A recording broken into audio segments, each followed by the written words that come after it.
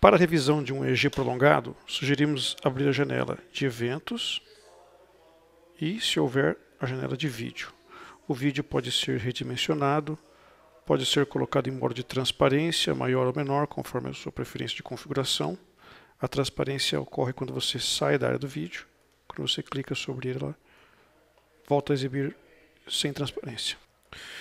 Você pode navegar usando as teclas do mouse a barra de rolagem do mouse, esses botões na barra de navegação, esse botão navega, navega página por página e esse navega automaticamente. A velocidade da navegação eu mudo com a barra de rolagem do mouse. Aqui eu aumentei a velocidade, aqui eu diminui a velocidade. À medida que eu vou revisando o exame, note que em azul está sendo marcado trecho já revisado. Caso eu queira interromper a revisão, salvar e continuar depois, eu posso ir direto ao trecho não, ao primeiro trecho não revisado.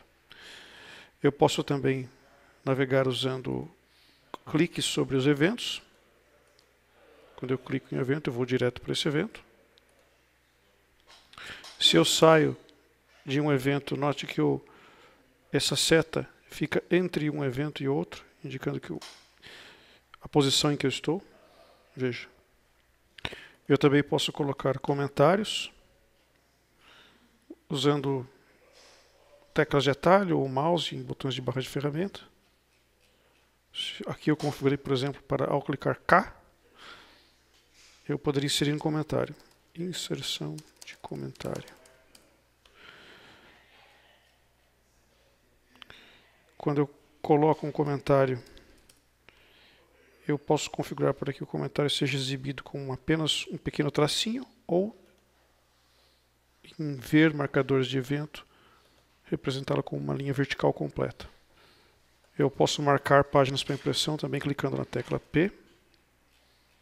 P. P. Eu cliquei três vezes, aqui vai mostrar a contagem de fragmentos impressos. E depois de revisado o exame, eu posso ou comandar a impressão das páginas marcadas, também posso editar o exame. Ao editar o exame, eu posso escolher para preservar todas as páginas que contêm marcadores, clicando nesse botão. Todas as páginas marcadas para imprimir. E posso manualmente também acrescentar outras páginas. Clicando, por exemplo, em botão direito do mouse manter a página, gravar esse fragmento, Alt S. E a edição, mesmo de exame com vídeo, é feita com bastante rapidez. Veja, se eu clico em aceitar, eu vou, para exemplificar, gravar uma cópia do exame ao invés de sobrescrever o exame original. E vou gravar o vídeo também. Isso está em tempo real, sem edição. Veja como rapidamente eu editei um exame de 5 horas para um trecho de apenas 3 minutos e 40 segundos. Se eu fecho esse exame salvo, vou fechar também o exame original, no caso vou fechar sem salvar.